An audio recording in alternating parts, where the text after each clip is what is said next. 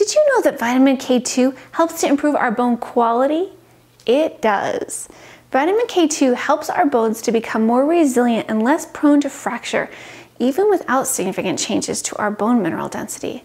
But it also helps our bones to become more dense too. In today's video, we'll discuss what to look at when considering whether to supplement vitamin K.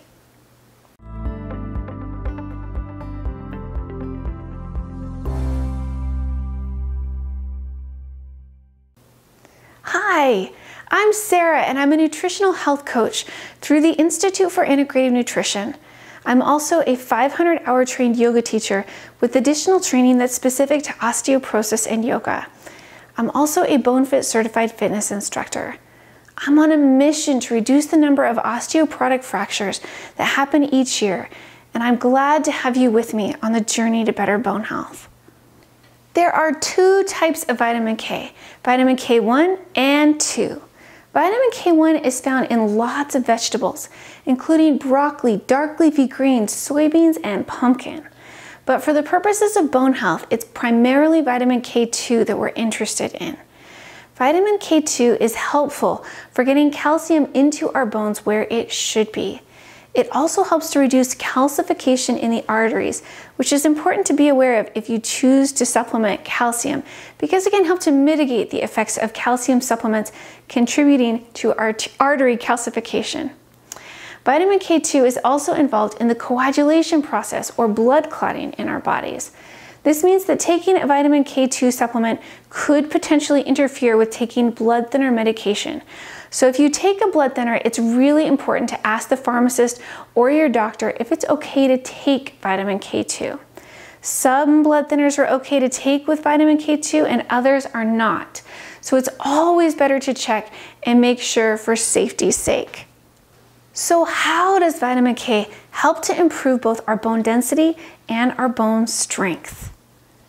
Vitamin K activates a protein made by our bone building cells that binds to calcium. And then it helps the calcium become part of our bone matrix in a really effective way. This is how vitamin K2 helps to reduce the calcification in our arteries. It's because it's actively helping the calcium get into our bones and to integrate itself into our bones in a really elegant and efficient way. Vitamin K2 helps our bones to become stronger.